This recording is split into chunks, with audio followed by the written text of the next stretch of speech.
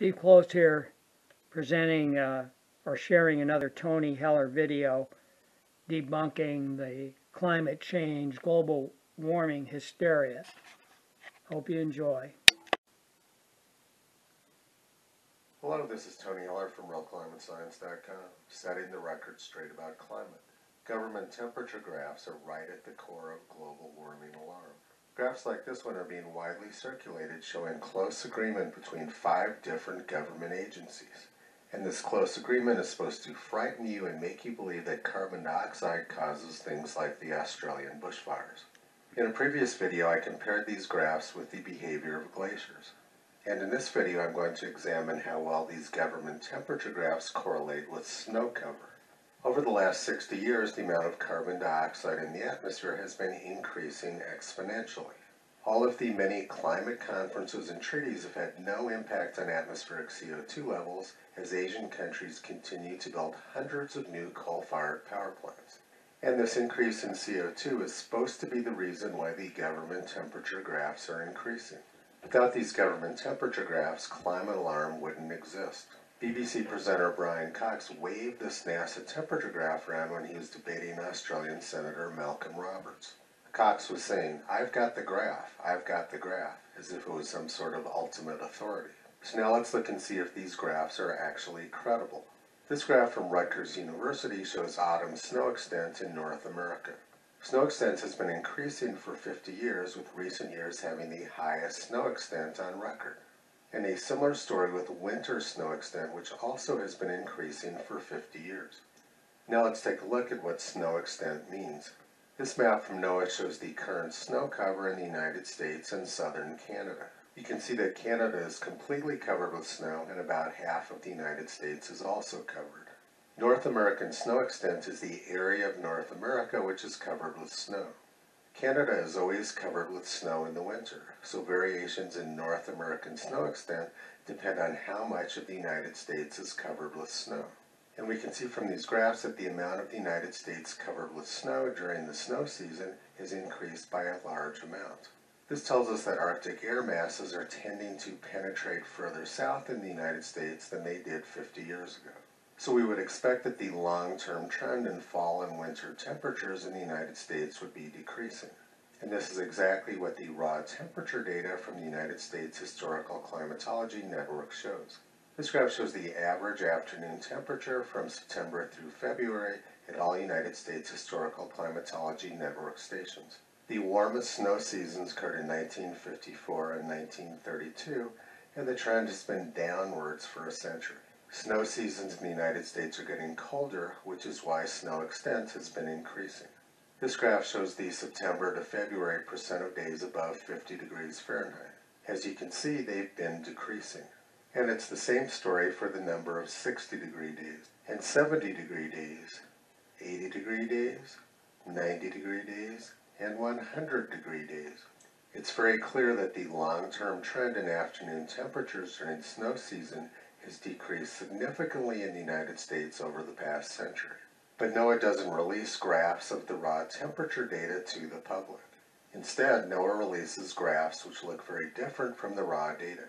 NOAA shows snow season afternoon temperatures increasing, with recent years being the warmest on record.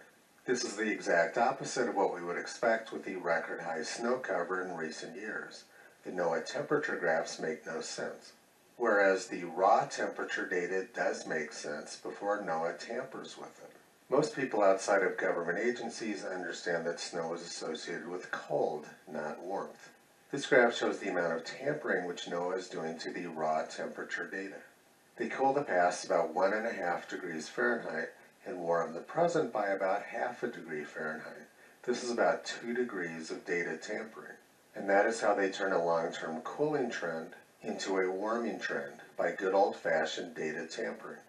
NASA does exactly the same thing. This was their U.S. temperature graph in 1999, showing long-term cooling. But they've since altered the data and now show warming over the same interval. I'm going to flash back and forth between the two graphs a few times. 2019, 1999. 2019, warming, 1999, cooling. This alteration of data has been done right in front of the public, but few people remember. Published NASA and NOAA temperature graphs do not show any indication or disclaimer that the data has been altered. People just assume that they're seeing the actual measured thermometer data, but they aren't. Imagine what would happen to a private company if they altered their financial data to turn a downward trend into an upwards trend. It would be a huge scandal, but government scientists are rewarded for doing exactly the same thing. But this story gets much worse. This graph shows the adjustments being made to the U.S. temperature record. As we've already seen, the past is being cooled and the present is being warmed. This is the same graph, but instead of plotting time along the x-axis, now I'm plotting atmospheric carbon dioxide. This graph is very enlightening and shows us exactly what's being done. The amount of adjustment being made to the temperature data precisely correlates with the amount of carbon dioxide in the atmosphere. The data is being altered to match their theory. This is the ultimate in junk science. These government agencies want you to believe that carbon dioxide controls the temperature, so they're altering the data to match their theory. And these are the same government agencies who are creating the global temperature graphs, which are supposed to frighten us. Like the US temperature data, the global temperature data is also being manipulated. This animation flashes back and forth between the NASA 2001 version of global temperatures and the 2015 version. You can see how NASA has doubled warming from the year 1880 to the year 2000 by altering the data. Like with the US temperature data, they're cooling the past and warming the present. But the focus of this video is the correlation between US snow cover and US fall-winter temperatures. The US temperature data is extremely important because the vast majority of high-quality long-term temperature data on Earth's surface is in the United States. This map is from NOAA and shows where they have daily temperature records from 1891 to 1920. You can see that the United States has the majority of them. There's some in Western Europe, some in Australia, and very few in the rest of the world. Thus, the data tampering which is going on in the United States is critically important for the long-term global temperature record. And even now, the coverage in much of the rest of the world is very poor. The coverage in Africa is very poor. The coverage in South America is very poor. Greenland, Antarctica, and even much of Australia. The data tampering which is being done is completely destroying our understanding of climate. They're showing us the exact opposite of what's actually going on. In this graph, I've overlaid the carbon dioxide curve on top of snow cover.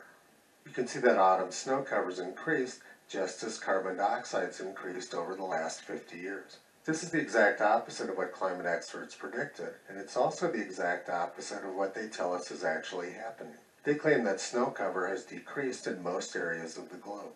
But if we look at the Rutgers University graph of snow cover for the whole year, we can see that for the past five years, snow cover has been consistently above normal, and it's been above normal for most of the last 25 years. Basically, you can't believe anything which climate experts are telling you. Albert Einstein said, blind belief in authority is the greatest enemy of truth. And climate is the ultimate example of this. U.S. fall-winter snow cover is increasing just as temperatures are decreasing. This is exactly what would be expected, and it's also the exact opposite of what government experts are telling us. Visit Toto on the web at realclimatescience.com. He's been pulling back the curtain on junk science and propaganda for a long time. Thanks for watching. Head on over to Tony Heller